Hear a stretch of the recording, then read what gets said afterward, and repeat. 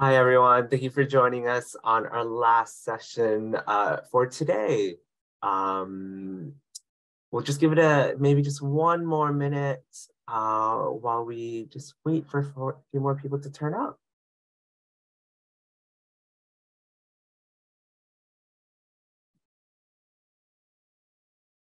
Uh, as we wait, if you want to introduce yourself in the chat box and where you're dialing in from, feel free to do so.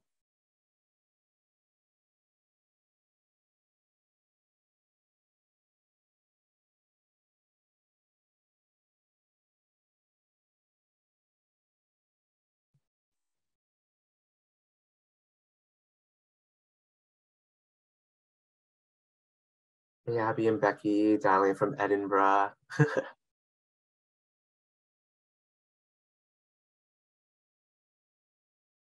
Emma from Edinburgh also, of course. Gabriel from London. Awesome.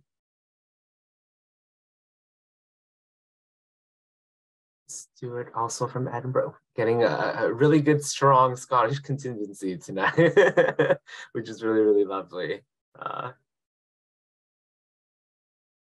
well, not to hold us back, uh, I say we get started and then um, more and more people will join, I believe. Um, but welcome everyone to today's event called The Starving Artist, Change Making Through Art Activism. Uh, tonight, uh, this event is part of a series event taking place for I Will Week, where this year our theme is pulling together for youth social action. Um, my name is Tony. I'm the youth leadership manager here through I Will, uh, and I'm glad that each and every one of you are joining us this evening. Uh, and you're in for a real treat. It's a interactive workshop from what I can tell from the brief uh, and the download uh, that I've received from your host today. Uh, and tonight you are in for a sweet treat. Uh, Ali will, our I Will ambassador from 2021 will be guiding you through the session. So I'm just gonna pass it over to Ali and yeah, looking forward to being immersed into what you're gonna be sharing with us tonight. Oh, thank you so much, Tony. And hi there, everyone. My name's Ali. Um, I'm from Toronto, Canada, but been in sunny, not sunny, Glasgow for a very, very long time now. And um, I lecture at the University of Glasgow and I teach um, many things, but arts research is kind of where I'm at. And I'm the founder of The Starving Artist. So I'll tell you all about that today. And hopefully, you guys um, will learn a little bit more about art activism. So I'll just get right into it then. Forgive me while I just switch screens.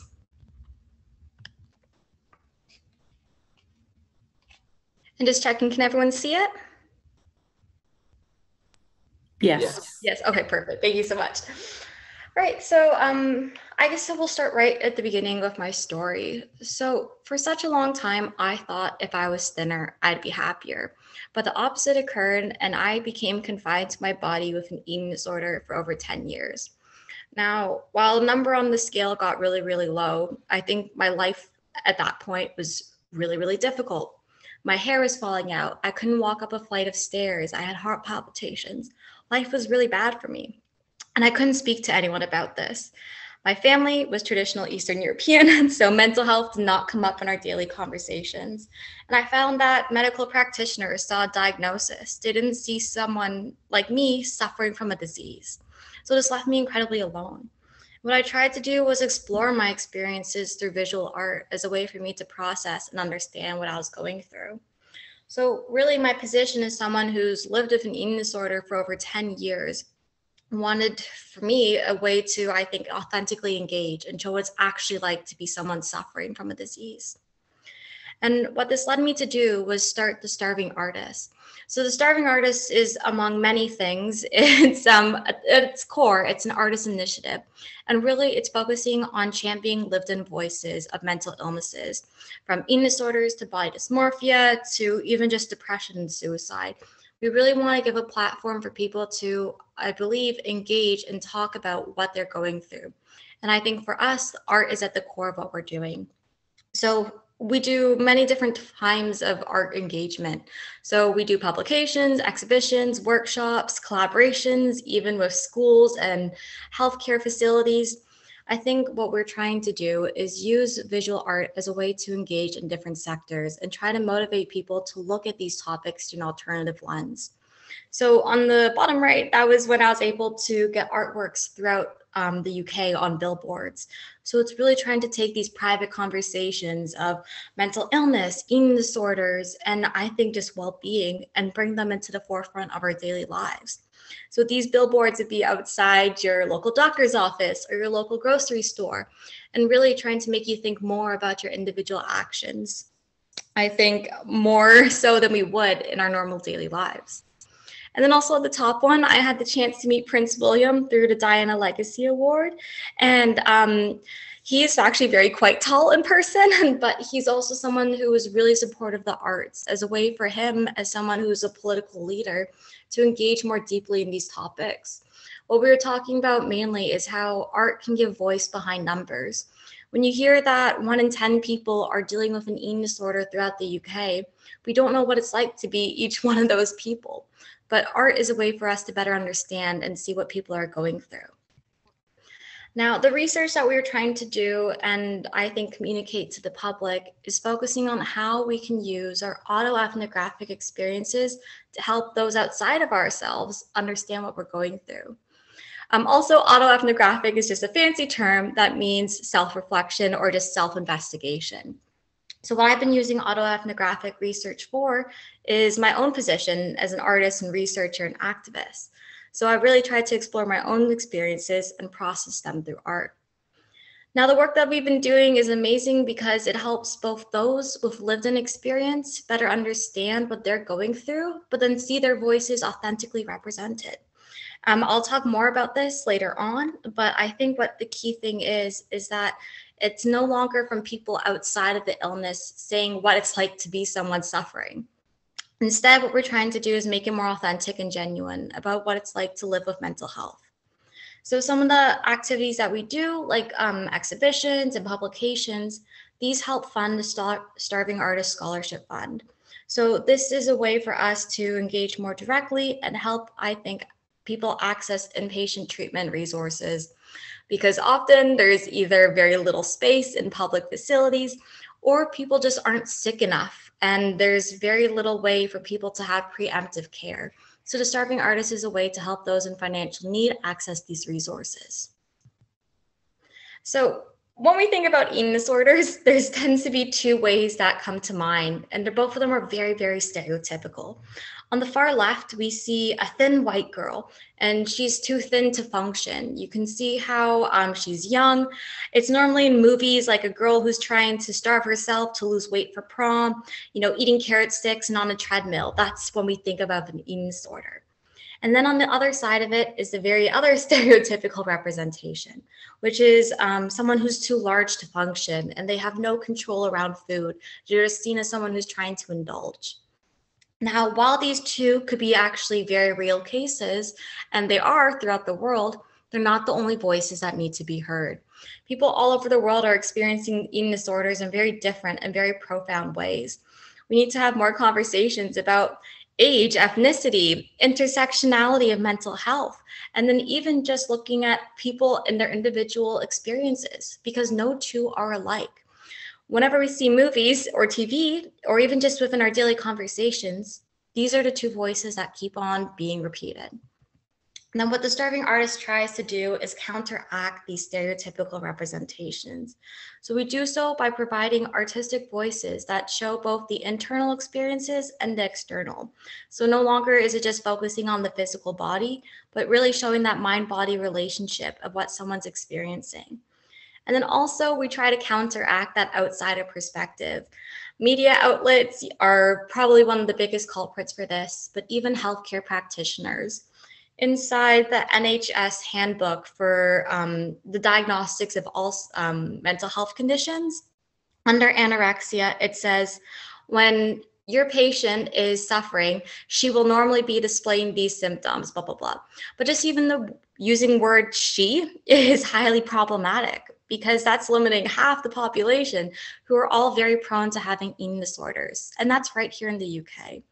So, what we tried to do is showcase the diversity of voices and their visual art expression.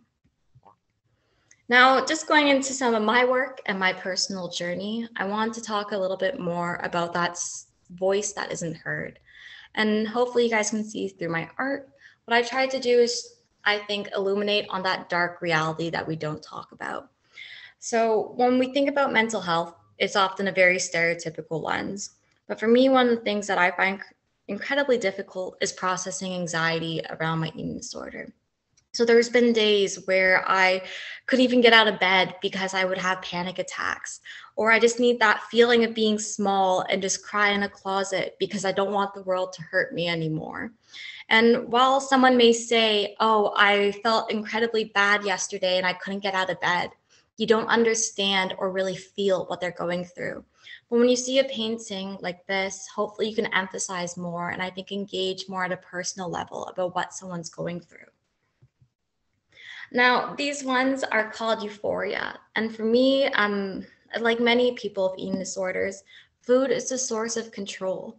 Having the choice to eat or not to eat is giving you, I think, an agency or an outlet to take control over your lives. Um, this painting was done in my um, early high school years. And I think for me, what happened was I had no control in my life. I had parents that were getting divorced, so much schoolwork. I had to work two jobs to afford the school. And every single day I'd come home, and the one thing that I sought comfort in was a box of Cheerios. Hopefully, you guys have Cheerios in the UK, but basically, they're just like this really bland cereal. But for me, in that moment, just eating cereal took me to a place and helped me escape from my daily problems. Now, eating disorders, again, can be very serious, but I also want to show the lighthearted nature of it. So when we talk about a very serious topic like this, we can also look at it through a comical and I think alternative perspective. Now, these works are called Popping Pills and Popping Bills, and it's looking both at the internal and external influence of eating disorders. So while not everyone can relate to this, I think that some people who themselves are chronically ill or know someone that is may relate. Um, for me, I had a lot of um, eating disorder pills that I tried to take. You know, the ones that help reduce your meta or improve your metabolism, or green tea pills, or ones to help um, burn calories, or ones to help with um, trying to have a higher metabolic rate.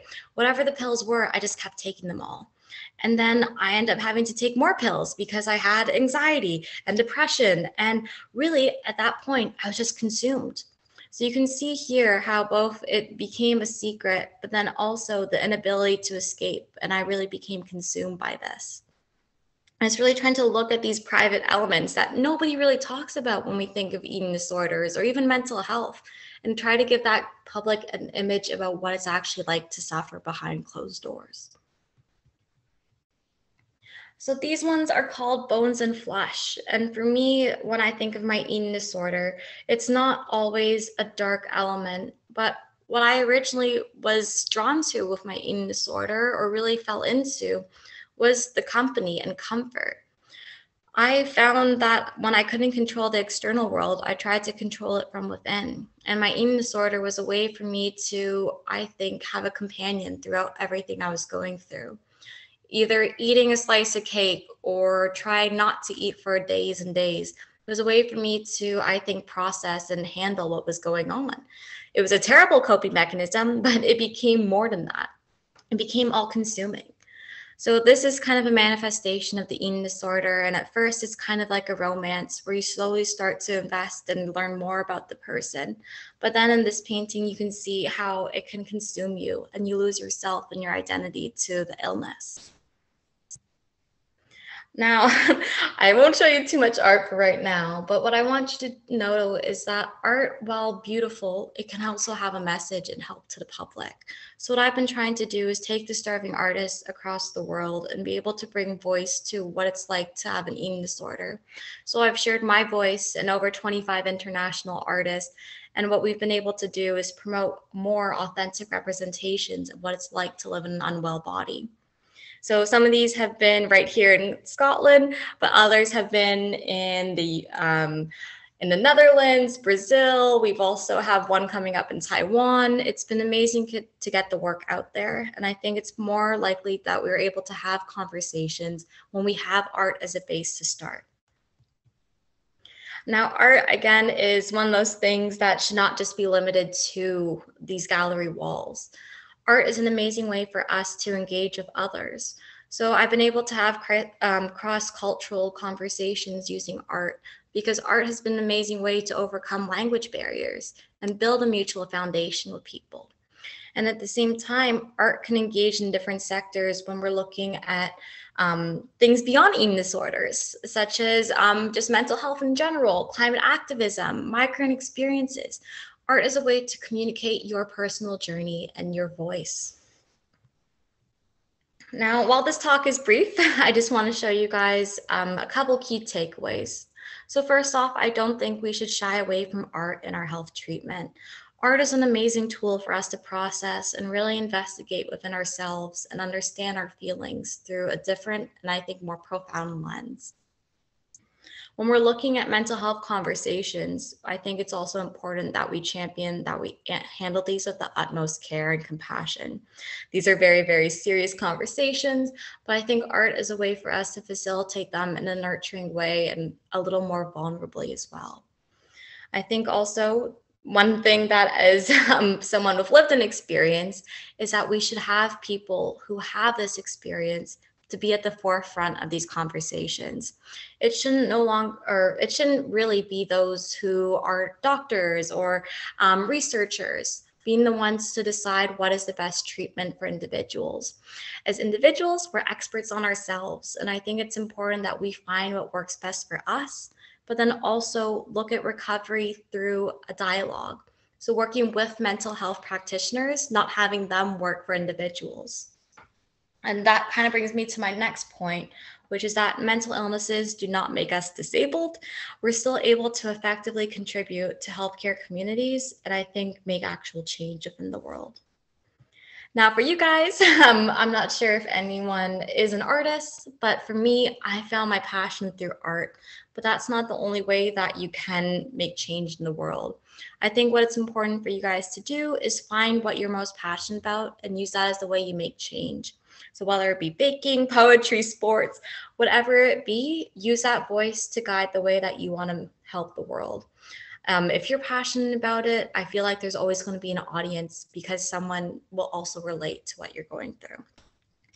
And this part will be the next one that we'll be going into for a workshop, but we'll be using and exploring our personal journeys and voices to make a difference in our change making efforts. So I think it's important that we highlight individual stories because they really help one reduce the stereotypes of what is being told, but instead showing more authentic and general or vulnerable ways of looking at these topics. And then the last part is again focusing on having genuine bonds with people. And by doing so through art or even just sharing what you're struggling with, it's, I think, making more effective communication because it's no longer just um, quotes that have been repeated or stereotypical numbers that are being told. Instead, it's a real person experiencing what they're going through and sharing it to someone else. So while this talk is brief, hopefully we can continue on into the next workshop session. But I just want to check if there's any questions so far. None? Okay, we're good for time then. Well, I will share my desktop and we'll go on to part two. So today we'll be looking more at the power of portraits. Um, for me, I like I said, I love doing autoethnographic art, and today you guys will be the ones who are at the forefront of the art making. So today we'll be looking at experiences. So you can see through the way that I've been exploring my voice in art, I think it's important that we look at individual experiences to look at mental health through different lenses. So one thing that I hope that we can do is look more so at our daily actions. So looking either at the mundane or looking at things that we wouldn't normally reflect on, but using art as a space to explore them more. So hopefully today you can look at maybe exploring your memories or stories to create a strong message about what you want to communicate to the world. So I'm just giving some examples to help inspire you guys, but these ones are called voices behind bodies. And this is one that I did when I was trying to process external dialogue with internal. So basically, there was so many people trying to say how I should have recovered or how I should go about um, my diet plan or how should I go about even just having a job or career or what I should be doing to clean up my flat there was too many voices that I found completely consuming. And what I tried to do was show the self versus the externalness and showing how it was causing a lot of inner torment and often it was debilitating. Now, the next ones, I again, I just want to touch on that isolation factor and showing the pain and what people are going through.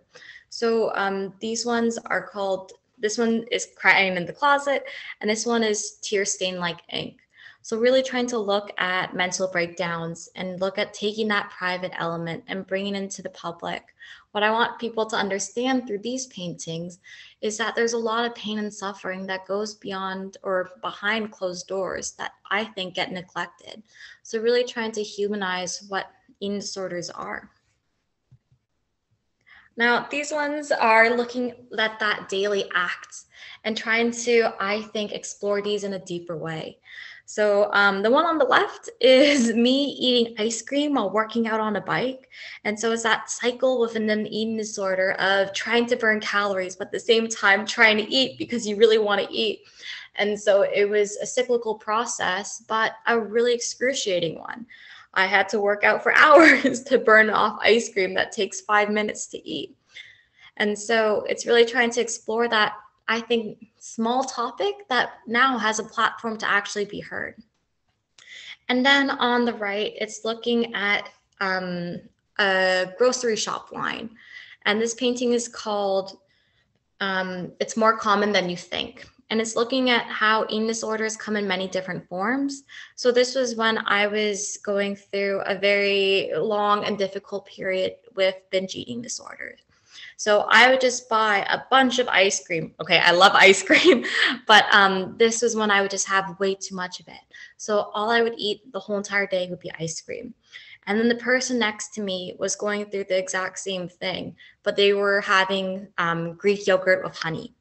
So it's trying to look at saying one, eating disorders aren't just isolated in the private, but it's within our daily lives and making us reflect on wait a minute, there's so many different ways that an eating disorder can be experienced. Personally, I think everybody has some form of disordered eating because there's no one right way to eat. And I think that some people, you know, when they get stressed, they'll eat a whole pizza, or some people that are stressed and they don't eat at all. Or there's some people that want a bite of everything, or other people only want to eat one thing. So, really, it's just trying to show that eating disorders are one, just vast and profound, but also we need to have more voices heard because these aren't being talked about as often. So now it's time for your turn to create artworks. So whatever supplies you have in your house, whether it be a pen and paper or an iPad or um, markers, you'll spend the next 20 minutes, just turn off your screen and just have, I think, time to explore and create an artwork. The only criteria is trying to make a portrait of yourself and think about one of your memories or stories that you want to share or just create an artwork about. I think this is trying to focus on something that you want to bring to the public or something that you feel like you haven't had time to process. So we'll come back in maybe about 20 minutes and you guys can I think just take this time, reflect, create art. It's not going to be put in a museum or gallery. It's just something for you to use as a tool and just try out today. Um, is there any questions so far? No? Okay. Well, I'll give you guys the time right now, and then we'll meet back maybe at, it's 5.30, so 5.48, 5.45? 5.45, okay. Perfect. I'll put up the screen as well so you guys can just have that there.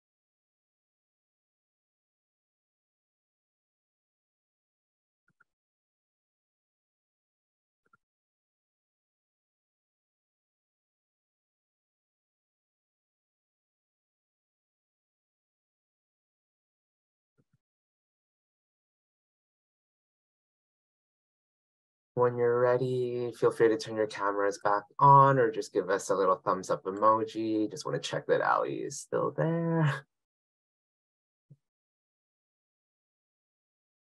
Cool. We're on time. So I'm just going to pull up the second part of the um, workshop slide. But does anybody want to share what they made during the time? I will share. I, I am not an artist, but hopefully you can see this okay. So I have put myself as an octopus. Um, because in my life and in my role, I have so many different. I'm a mother, I'm also a colleague, I'm a friend, I'm a partner, but I'm also me. And sometimes they have all different conflicting um, elements on my time and all the different tentacles that I hold. So when I think about a self portrait, I always think of myself a bit like an octopus. That's amazing. I love that. It's almost like um what do you call it? Like you have the buckets of life. You can only pour so much energy into each of those. And I see that with you just trying to like manage everything. And that's just such a great representation of how stressful life can be dealing with so much. But also at the same time, he's a bit of a happy octopus because, you know, within each of those bits that, that there's lots of joy and there's lots of excitement and there's lots of new learning and fun. It's just at times having that balance within it as well yeah, that's amazing. Especially being able to handle all that too. With a smile, props to you. Thank you so much. Does anyone else want to share what they've been working on? I'll go. Again, I don't know. I didn't really draw me because I can't. I, I can't draw. Um. So, I, I, how visible is that going to be? Actually, oh dear. Focus. Focus. Oh god you can't really see it very well. Well, ish. Basically, what that's meant to be, I'll keep zooming in, I'll, hold. What that's meant to be is that's me there. And basically, that's a kind of thought bubble. What that is, and you're lucky you can't see it very well, but just imagine it's drawn to perfection. That's that's a light switch um, that's got an out of order sign around it. Um, because quite often I find it very difficult to switch my mind off. Um, and so that's meant to symbolize my mind and that no matter how much I try to kind of switch off sometimes the light switch just isn't working and it's it's got an out of order sign around it and it's not working. So no matter how much I try, I can't quite switch off certain emotions that I've got or certain kind of issues or struggles that I've had. And it's, it's kind of always been there and it's always kind of lingered. Something I struggle with that. So that's meant to be a light switch with an out of order sign around it in a thought bubble. That's amazing. Did you think maybe doing art actually helped you to switch off for a little bit? I think,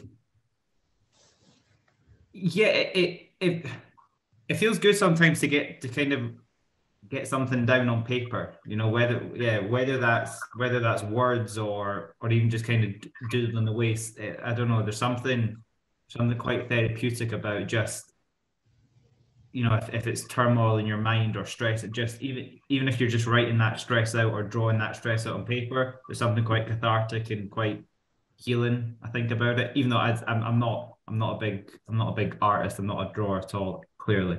Um, but just that kind of process, and like you said earlier, whether that's whatever different kind of outlet that may be, I think sometimes just getting that kind of struggle out in some form is quite yeah quite therapeutic. Perfect. Thank you so much. And um, this actually brings me to the questions that I want to phrase to the group. So um, I'll share my screen. But does anyone want to share maybe what this experience has taught you, whether it be maybe wanting to look at art or maybe try to look at how you're processing your feelings? Uh, I'm happy to jump in. Mm-hmm. um, this experience, so I was really struggling when I, you said the task because I was like, I really hate drawing because I um I like don't think of myself as being very good at art. And then I thought actually that I, I really enjoy being creative in other ways. Um, and then when you kind of gave some different options and you're like, oh, if you have an iPad, then you can do something there. And I was like, I'm going to make something on Canva.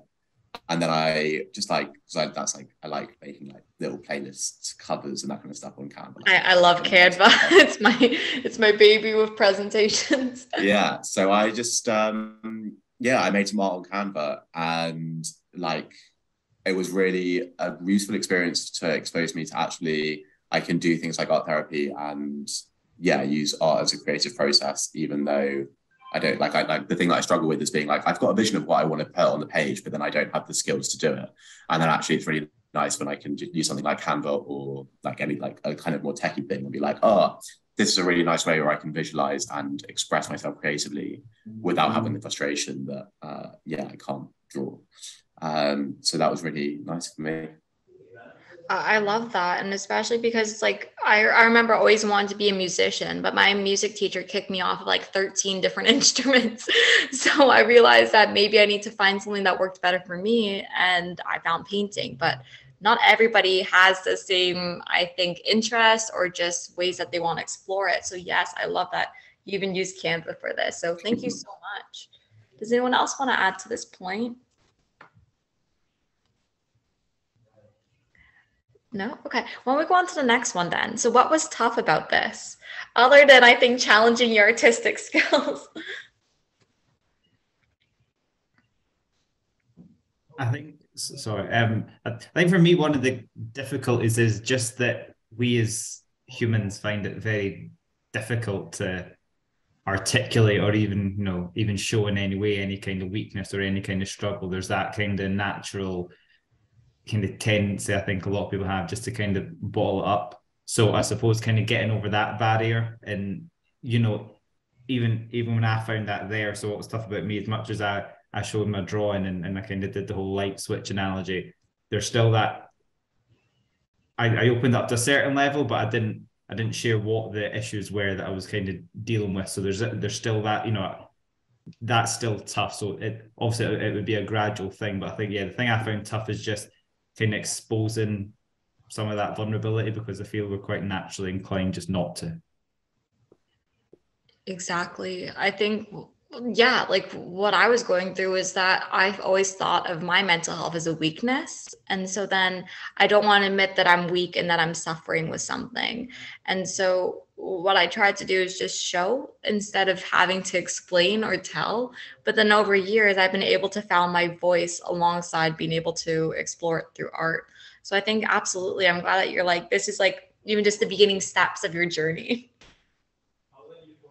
And I think the last one is relevant to some, but um, how does portraits maybe shape your voice or the way that you engage in a topic? especially looking at like self reflection. Portraits is a way of seeing yourself, but I'll let you guys kind of fill in what you guys think.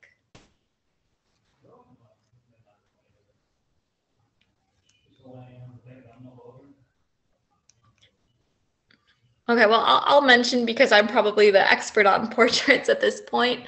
Um, I always find that by looking at myself or even just making paintings or artworks about the ways that like I perceive myself, it kind of distanced me and then makes me reflect at like past Ali versus present Ali. So it's always good just to like look at those moments that maybe cause you difficulty or those ones that I think challenge you and look at why did I feel that way or how can I explore this now in the present. So art is just a way that I've been able to process this. But some people may do that through music or through poetry or um, through Canva. Really, it's just so nice that you guys can hopefully think of ways that work best for you. And just to keep with time, because everyone's probably hungry this evening, I'll wrap up and say that it's so nice that you guys are able to engage in this topic and try it. I know that not everyone's artist, but thank you for going through this and exploring it. And I think just to take away is that we should be more vulnerable about mental health. Everyone has it. And I think it's going forward is that we should make more spaces to have conversations like this so we can all, I think, as a community, be able to build each other up. But thank you. Thank you all.